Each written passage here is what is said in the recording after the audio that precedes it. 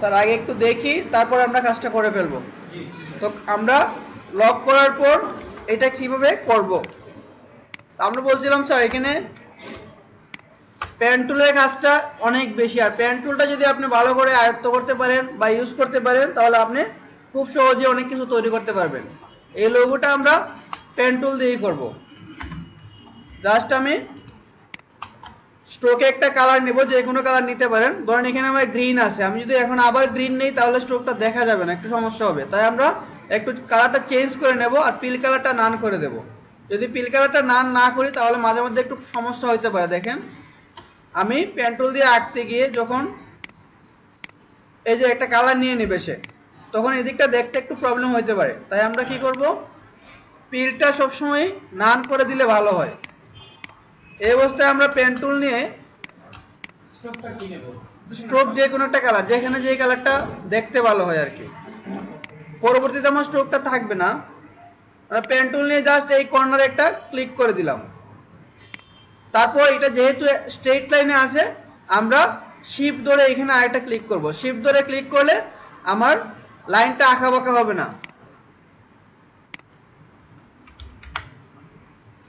Same ভাবে আমরা নিচে, দেখেন নিচে এই পুরোটা অংশ কিন্তু স্ট্রেট না, এখান পর্যন্ত স্ট্রেট আছে, বাকিটা একটু বাঁকা হয়ে গেছে। আমরা কি করব? এই জায়গা পর্যন্ত শিপ ধরে একটা ক্লিক করে দিব। তারপর এই বাঁকা অংশের জন্য এখানে কিছু ধরবো না জাস্ট মাউস দিয়ে একটা ক্লিক করে নেব নিচে। যেখানে আমার লাইনটা সোজা থাকবে শিপ ধরে ক্লিক করব।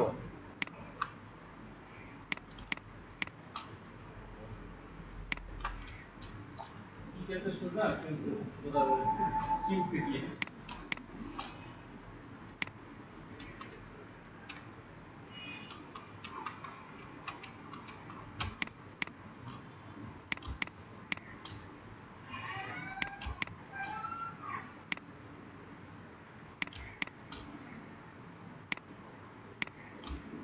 আমার টিটা হয়ে গেছে এখন কিউ সেম ভাবে আমরা আবার পেন টুল নিয়ে ভিতরে ক্লিক করি। এই রাউন্ডটা করতে একটু ঝামেলা হবে, একটু দেখেন কীভাবে করতে হয়। আমি মাউসটাকে ড্রাগ করব। ড্রাগ করলে রাউন্ড হয়ে যাবে। সেই ক্ষেত্রে দুইটা ইউজ আমরা করতে পারি। সামনের দিকটা ইউজ করতে পারি। আবার মনে করেন আমি এখানে ক্লিক দিয়ে দিলাম। তারপরে জাস্ট অলটা ধরে, পেছনের পয়েন্টটা ধরে আস্তে আস্তে টান দেব। সেই পে চলে যাবে।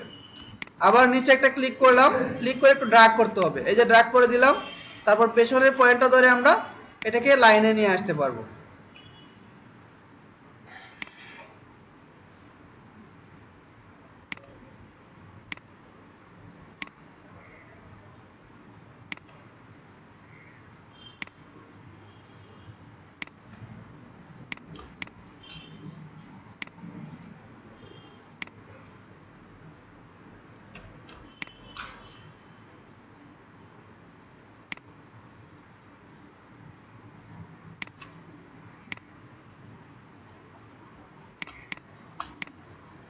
আবার পেন্টুল নিয়ে বাইরের অংশটা আঁকতে হবে।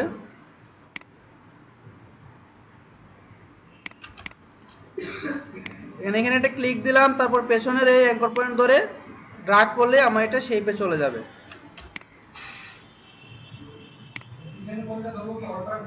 হ্যাঁ হ্যাঁ।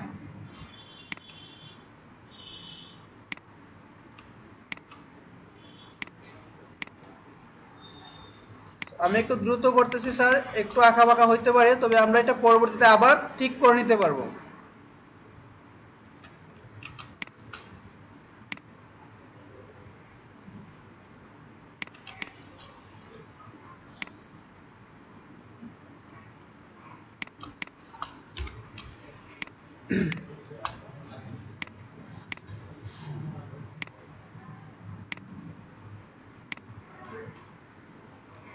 যে এখানে সোজা লাইন পাবেন শিপ ধরে ক্লিক করবেন।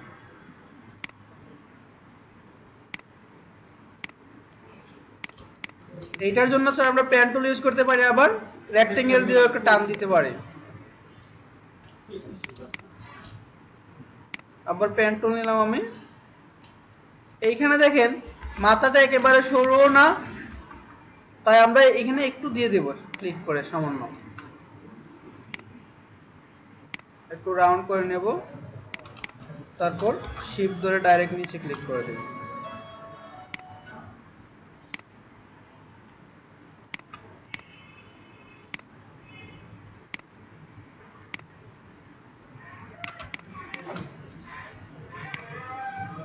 এটা কি আই না ওয়ান আচ্ছা এখন আমরা আরেকটা আই তৈরি করার জন্য আবার পেন টুল নিতে হবে না স্যার জাস্ট আমি ওইটা ধরে এটাকে কপি করে দেব। যেখানে আমাদের একই ধরনের দুইটা থাকবে, একটা তৈরি করার পর কপি করে দেব। আবার পেন টুল নিয়ে আমাকে এটা তৈরি করতে হবে। এই পয়েন্টে ক্লিক করলাম। তারপর পেছনে ধরে আমি ড্রাগ করে নিলাম। একদম সেই পে চলে যাবে, দেখেন।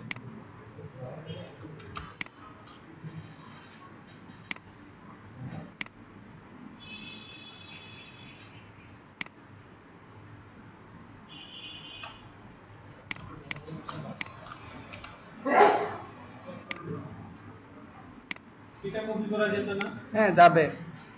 তবে একটা- একটা ছোট একটা একটু বড় আছে মনে হয়। তাও করা যাবে। কপি করার পর জাস্ট আপনি একটু টান দিয়ে বড় করে দিবেন। আমি দুইটাই পেন টুল দিয়ে দেখাচ্ছি। হ্যাঁ।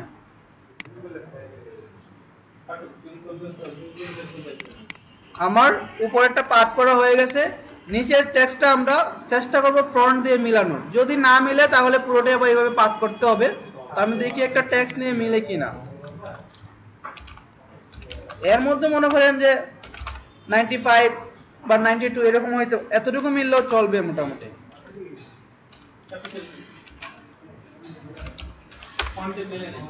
ফ্রন্ট মিলবে আমরা, বেশি করে ফ্রন্ট ডাউনলোড করে নেবেন আপনারা। দেখেন আমি ফ্রন্ট চেঞ্জ করি।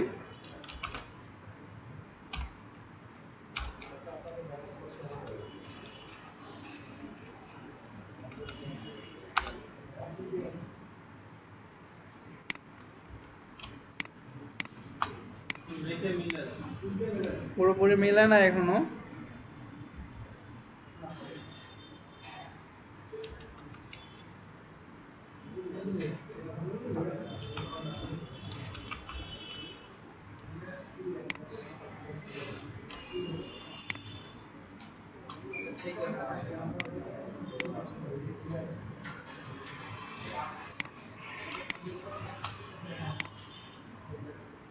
ফন্ট সাইজটা একটু বাড়িয়ে দিই।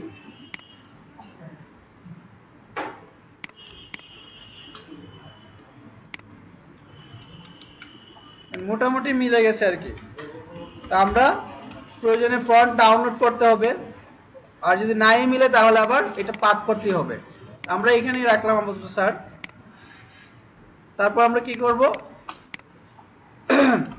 এটাকে কালার করে নেব। যেহেতু একই কালার আছে, আমি সম্পূর্ণ সিলেক্ট করে জাস্ট গ্রিন কালার করে দিই।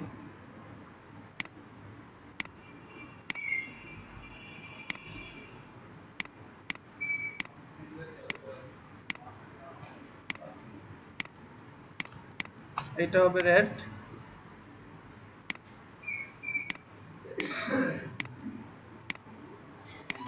এটাও গ্রিন হবে।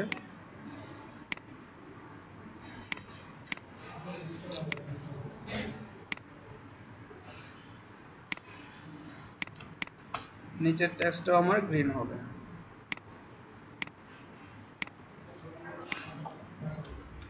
এখন আমরা এটাকে সিলেক্ট করে বাইরে নিয়ে আসব। এটার উপর থেকে বাইরে নিয়ে আসব অথবা পিছনেরটাকে আমি অল্ট্রা কন্ট্রোল টু দিয়ে আনলক করে এটাকে ফেলে দেব।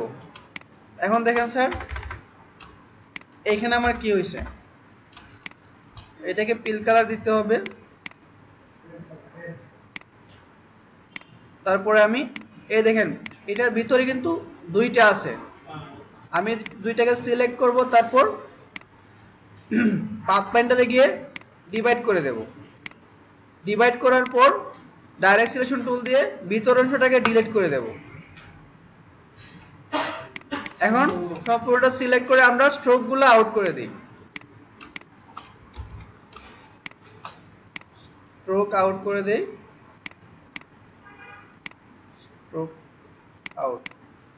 এখন যদি স্যার আমাদের শেপটা ঠিক না থাকে, তাহলে আমরা কীভাবে করতে পারি? ডাইরেক্ট সিলেকশন টুল দিয়ে এটাকে সিলেক্ট করব। দেখেন অনেকগুলো পয়েন্ট চলে আসছে। এই পয়েন্টগুলো ধরে ধরে আমরা শেপটাকে কমাতে বাড়াতে পারব। যেখানে মনে করো যে ড্রপ খেয়ে গেছে, সেখানে একটু একটু কাজ করে নেবেন। বুঝতে পারছি স্যার আমরা কীভাবে এটা করতে পারি? আঁকা বাঁকা হইলেও আমরা পরে এটাকে লাইনে নিয়ে আসতে পারব।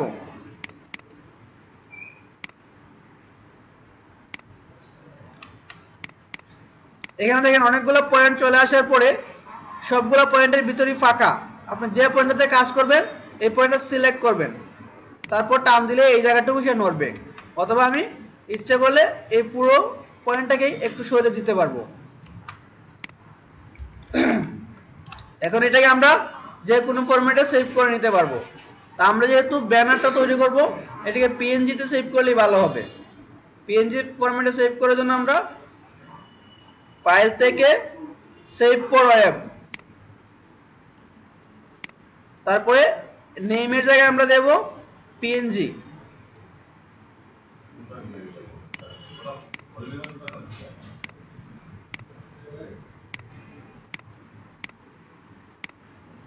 আউটলাইন আছে নাকি? স্যার এটা দেখা যাচ্ছে। না এটা অন্য না